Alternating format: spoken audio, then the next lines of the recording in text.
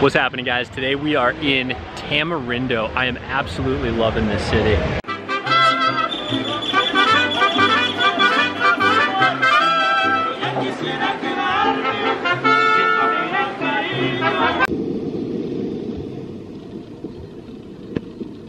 Are you looking to escape the cooped up existence of quarantines and lockdowns in 2021?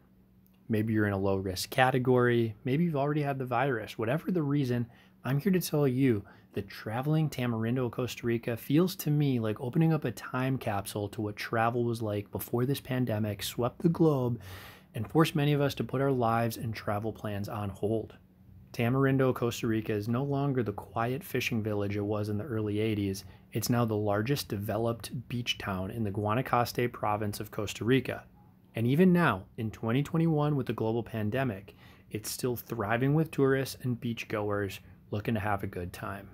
Its beautiful beaches make it a common tourist destination and easy to get to, being just an hour away from the international airport in Liberia, Costa Rica. Tamarindo is also world renowned for its surfing. Want to find the best waves? Fortunately, you don't have to go far. Walk just one minute from the city center and you're at the best break. You'll see the surfers in the water, there's tons of them. Swimmers and less experienced surfers should head further south down the beach for calmer waters, and everyone should be prepared to just pony up and pay the ferry operators if you want to get across the river to Playa Grande. It's dangerous. Crocs live in there and they'll get you.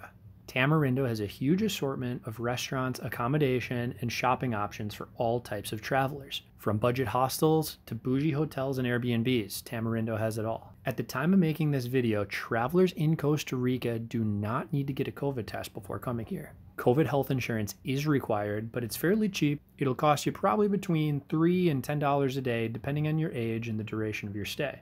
I'll put a link below this video to a great resource where you can find out more information on visas and health insurance.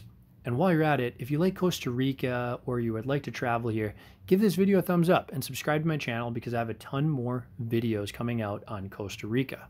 And a simple thumbs up helps the channel out a lot. Also, I should note that at the time of making this video, Americans do now need a negative COVID test result in Costa Rica one to three days before flying back to the US.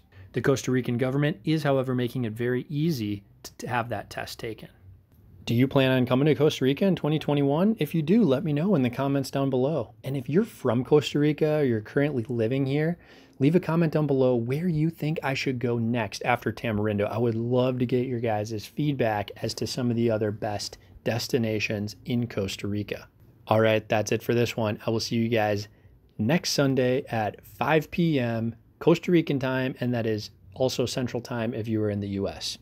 Adios, travelers. Pura Vida.